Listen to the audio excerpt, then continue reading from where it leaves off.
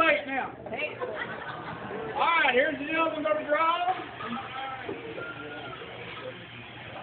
And the winner is...